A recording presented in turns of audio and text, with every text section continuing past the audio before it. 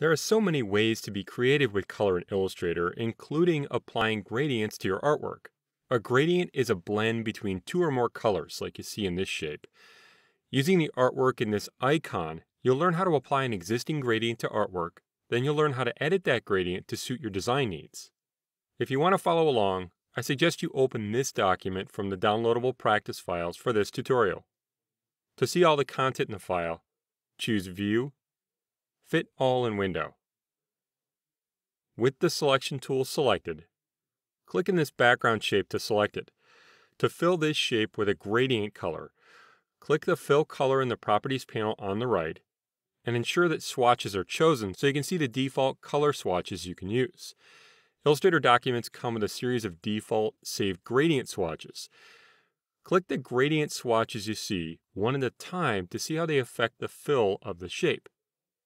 There are a lot of creative uses for gradients, including adding interest to artwork or adding dimension or depth as well. And in Illustrator, gradients can be applied to the fill or stroke of most objects. Make sure you finish by applying the gradient called white-black. Once you apply a gradient, you can edit the colors as well as how it appears in the selected artwork. Click the Gradient Options button at the bottom of this panel to open the Gradient panel. If you need to, you can drag the gradient panel by the title bar at the top. In the gradient panel that opens, there are a lot of options for editing a gradient, but you'll simply focus on editing the colors in this gradient. Since you applied the gradient to the fill of this shape, you need to make sure you're working on the fill in the gradient panel and not the stroke. Click the fill box so it's on top if it isn't already. Whichever is on top, the fill or the stroke, is what you'll change for the selected artwork. This color bar represents the colors of the gradient in the artwork. These two little, what look like buckets of color, are called color stops and represent the colors in the gradient. You'll see white and black. Drag this white color stop to the right and watch what happens to the artwork when you release it. Dragging it closer to the second color means the transition from white to black, in this case, is much shorter. Go ahead and drag that white color stop back to the left end. If you want to change the colors in a gradient, you can edit each color separately. Double-click the white color stop to edit it. So that you can see the color swatches that come with the document, click the Swatches button.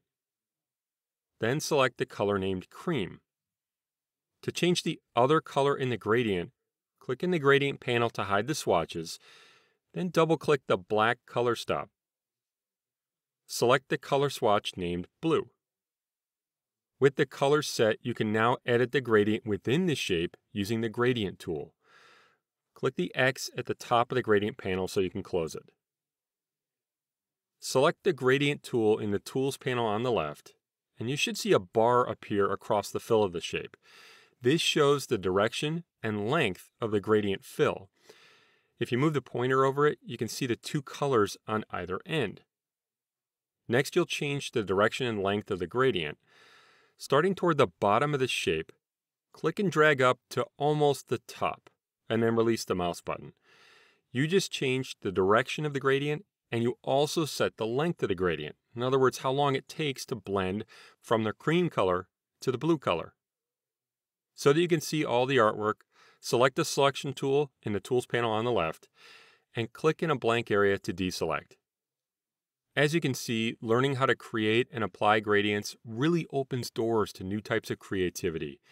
As you begin to explore in Illustrator and work on your own projects, you should now be able to use gradients to do things like add depth to a button or create the perfect setting sun for a poster, for instance. Save a copy of the file by choosing File, Save As, and make sure you change the name so you won't overwrite the original practice file.